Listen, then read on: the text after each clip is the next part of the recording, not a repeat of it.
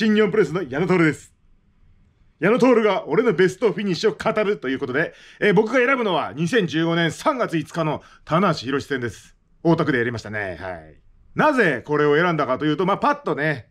頭に思いついたっていうのがね、もうね、一つの理由なんですけど、まあ僕がね、パッとね、自分が自分自身がパッと思いつくってことは、パッと印象に残ってる。だから選んだんです。まあそんなもんです。でもあんまりね、こういうのね、僕言いたくないんですよ。まあなぜかというとですね、こういうことをあんま言うと、あの戦術とかそういうのがバレちゃうから、もう本当はね、こだもうあんまり言いたくない。小出しとかじゃなくても言いたくもない。ね。でも印象に残ってる点はですね、あのー、この時に、多分初めてね、こう髪の毛掴んでガッと丸め込むっていうのをね、その本当その場のね、思いつきで、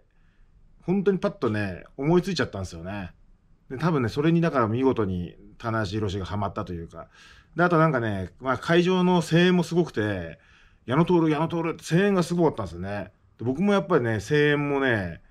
好きなんで、もう1000円のが好きなんですけど、まあ声援も好きみたいな、1000円よりも1000円みたいな感じで生きてるんですけど、ええー、まあ嬉しかったなっていうのもちょっと記憶にはありますね。はい。ということで、あのね、あのー、だから選んでみたみたいなところですかね。はい。そして、フライングフォアも見舞っていきました。ただ、ここに、まあ、試合始まってまだ数分しか経っていませんけれども、何度もフォールを取りに行って、なんとかなんとか、田中宏返しています。これ結構疲労度たまるんじゃないですか？いや、これね、はい、心理的にもね、きついんだよ、こういうのって。そうですか、自分のペースになかなかならないでしょ。まあ常日頃からお客さんが全部俺矢野の足を落としちゃってるもん、ね、常日頃から疲れたことがないと話している棚橋宏ではありますが6時間半東京マラソン完走した矢野徹長期戦に持ち込んでこの棚橋を疲れさせたいというまたボールだ。またボールだ。体力えええええええええ矢野が勝ったええ髪の毛掴んでそのままボールミラクルミラクルなんということだ素敵な笑みを大笑いバカにする笑い大歓声に包まれ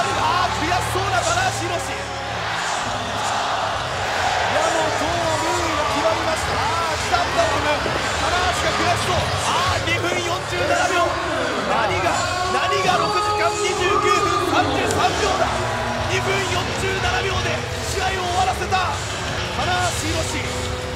年ぶりに帰ってきた春。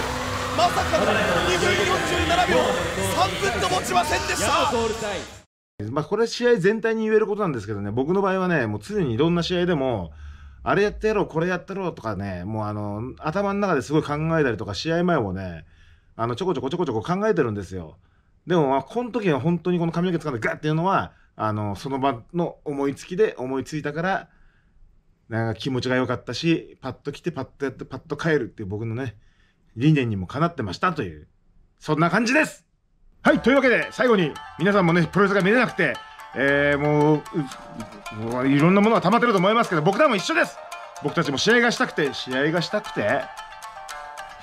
いいね、試合がしたくてたまりませんから、もうね、あのー、この状況を打破して、ね、試合ができるようになった暁には、今までよりももっとね、いいものかどうかは分かりませんが見せますんで楽しみにしていてください。ということで最後にさよなら皆さんということではい矢野徹。バイバイ。